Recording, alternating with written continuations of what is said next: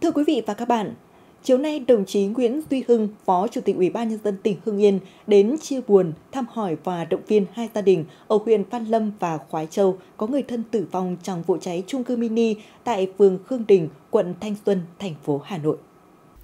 Trước đó, vào đêm 12 tháng 9, tại số nhà 37, ngách 29 trên 70, phố Khương Hạ, phường Khương Đình, quận Thanh Xuân, thành phố Hà Nội, xảy ra vụ cháy chung cư mini đặc biệt nghiêm trọng, khiến nhiều người thương vong, trong đó có hai người sinh năm 1975 và năm 2011 ở thôn Trình, xã Lạc Đạo, huyện Văn Lâm, cùng một sinh viên sinh năm 2002 ở thôn Bãi Sệ Ba, xã Tân Dân, huyện Khói Châu.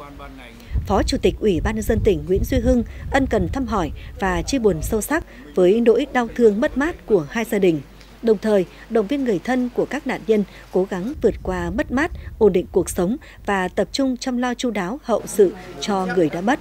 Đồng chí Phó Chủ tịch Ủy ban nhân dân tỉnh cũng trao mỗi gia đình nạn nhân 20 triệu đồng của tỉnh ủy, Hội đồng Nhân dân, Ủy ban Nhân dân, Ủy ban Mặt trận Tổ quốc Việt Nam tỉnh.